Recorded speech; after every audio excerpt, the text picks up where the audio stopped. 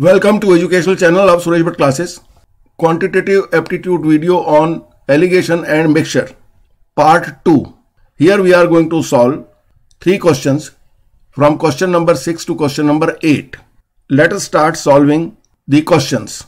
And the question is vessel A and B contain mixture of ethanol and water in the ratio 1 ratio 1 and 3 ratio 1 respectively. In what ratio these two be mixed to obtain a mixture of ethanol and water in the ratio 5 ratio 3. Now we separate these and find the portion of ethanol in the total mixture and portion of water in the total mixture ethanol ratio water. In vessel A, the ratio of ethanol and water is 1 ratio 1. It means ethanol is one part out of two parts. Also water is one part out of two parts as 1 plus 1 is 2. In vessel B, the ethanol and water is in the ratio 3 ratio 1. It means that ethanol is 3 part out of 4 part because 3 plus 1 is 4 and water is 1 part out of 4 part in vessel B. Now our required ratio of ethanol and water is 5 ratio 3. It means ethanol we require 5 parts in 8 parts which is 5 plus 3 is 8 and water we require 3 parts in 8 parts. Now we can apply our alligation rule so we solve it with taking our base as ethanol. So in vessel A we have one part out of two part and in vessel B we have three parts out of four parts. So we write 1 upon 2 and 3 upon 4 and we need the ethanol in the final mixture is 5 upon 8. So we write our mean value as 5 upon 8. On subtracting 5 upon 8 from 3 upon 4. 3 upon 4 is 6 upon 8. So we subtract 5 upon 8 from 6 upon 8 and we get 1 upon 8. Similarly, 1 upon 2 is 4 upon 8 and we subtract 4 upon 8 from 5 upon 8 we get 1 upon 8. Thus, in the final mixture we get equal to 1 upon 8 ratio 1 upon 8 this is nothing else but 1 ratio 1. So when we mix the mixture of vessel A and vessel B in 1 ratio 1, we are going to get the required ratio of ethanol to water is 5 ratio 3 when we mix it in ratio 1 ratio 1. We can verify this also.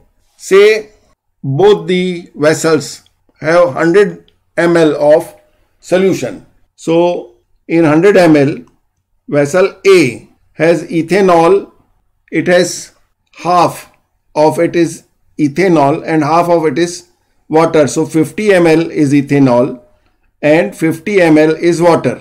In vessel B, the ethanol is 3 part out of 4 part. So it will be 75 ml and 25 ml. So ethanol will be 75 ml and water will be 25 ml. If we add these, so we get 125 ml of ethanol and 75 ml of water if we mix it in 1 ratio 1 as our answer is 1 ratio 1. So if we mix these two, so we get 50 plus 75 as 125 ml of ethanol and 75 ml of water. So ethanol ratio water equal to 125 ratio 75 this is equal to we divide this by 25 and we get 5 ratio 3 and this was the required ratio of ethanol and water in the final mixture. This way we can verify our answer. We go to the next question. The question is in what ratio rice A and B of price rupees 80 and rupees 120 per kg respectively be mixed. so as to get a profit of 20% on selling at the price rupees 108 per kg. Here the profit is given. In the questions in which profit or loss is given, then we have first to find the cost price and then we should apply the alligation rule. So we will first find out the cost price and we know that the cost price equal to 100 multiplied by selling price which is 108 8 in this case upon 100 plus rate of profit which is 100 plus 20 which is 120. So we cancel the 0 of numerator by 0 of denominator and 12 divides 108 for 9 times. So our cost price is 10 multiplied by 9 is 90 per kg. Now we can apply our rule. Variety A of rice is costing rupees 80 per kg. So we write 80 and variety B costs rupees 120 per kg. So we write 120 and our mean price which is cost price after mixing is 90. So we subtract 90 from 120 we get 30 and we subtract 80 from 90 and we get 10. So variety A ratio variety B equal to 30 ratio 10.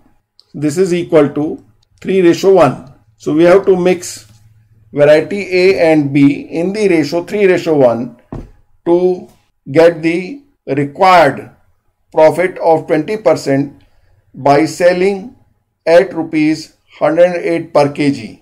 In such type of questions, we have first to find the cost price and we should not directly put this selling price as our mean price. We go to the next question. The question is find the ratio in which two varieties of tea costing rupees 160 and rupees 240 per kg are mixed and sold at rupees 252 per kg making a profit of 20%.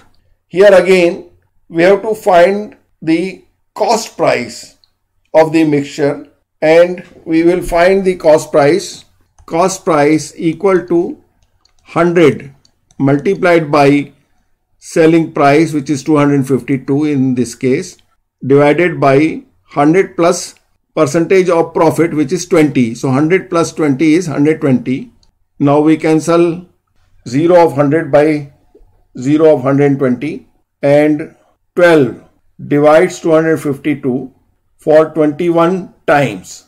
12 times 2 is 24 24 when subtracted from 25 we get 1 and we carry 2 12 divided by 12 is 1 so it is 21 and 21 multiplied by 10 is 210 so our cost price is 210 now we uh, apply the alligation rule.